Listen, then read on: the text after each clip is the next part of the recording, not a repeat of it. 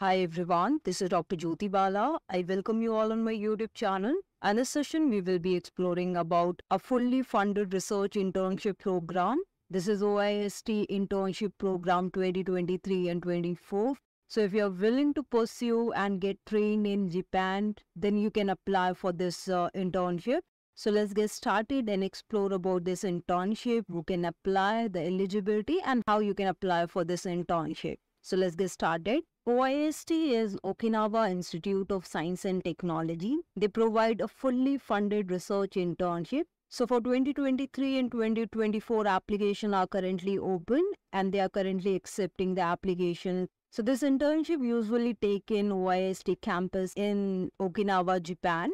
Duration of this internship is around 10 to 12 weeks. It's around 2 to 6 months. And unfortunately, there will be no extension offered to this time period. So if you are an undergraduate, master or graduate student, you are eligible to apply for this fellowship. The last date of application is 15 October 2023.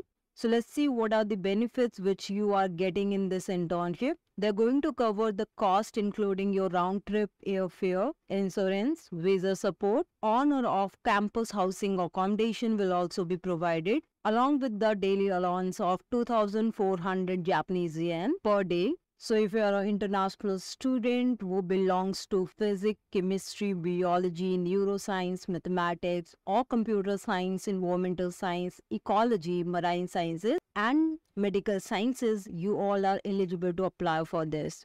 If you want to explore the research ongoings, different supervisors and lab, kindly visit the OIST official website to get the detailed idea about the ongoing research Let's see the eligibility criteria for this internship. The applicant must be enrolled in a degree program at university, colleges or junior colleges. International students who have recently graduated from such institution are also eligible to apply for this internship program. The students who are currently enrolled must obtain approval from their home institution and university. They usually prefer the third and the fourth year of bachelor students or first year and second year of the master's student.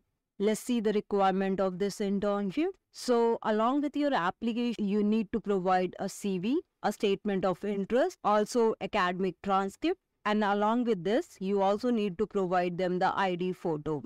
And these documents need to be submitted along with your application form. Fill out the online application form and provide all these documents. And along with this application and document, you also require recommendation letter. So kindly visit the official website of OIST and timely apply for this research internship.